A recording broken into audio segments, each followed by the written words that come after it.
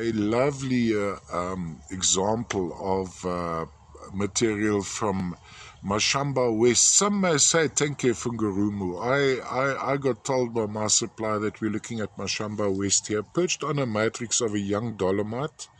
We have this dusting of uh, tiny cobalt and calcite crystals, a sort of a, a, a, pink version of the baby blue, a lovely rich uh, uh, pink Lovely patterning on this section. I quite enjoy this particular section here where you have this almost a pattern and then this is it a malachite? Yeah, most likely malachite. Could also be called kolwezite, but I think here we're most likely looking at malachite. I'm a little bit color challenged. Kolwezite is usually more brown than green.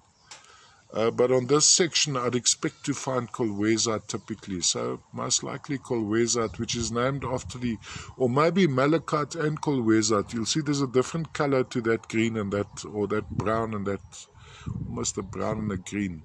Named after the Kolwezi mining district in the Katanga. There's also some crystallization taking place there. Now, for sake of ease, we always say malachite. Most likely some other uh, uh, green wonders from the Congo. Very, very difficult to identify this material, and my IDs are purely visual.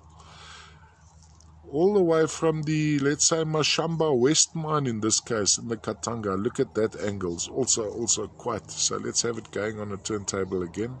Going around like an exquisite piece and contact free across the top. So what one always looks for on a, on a top specimen is looking across the top You've got a perfect, perfect undamaged view across the top. And look at that, that's also quite exquisite.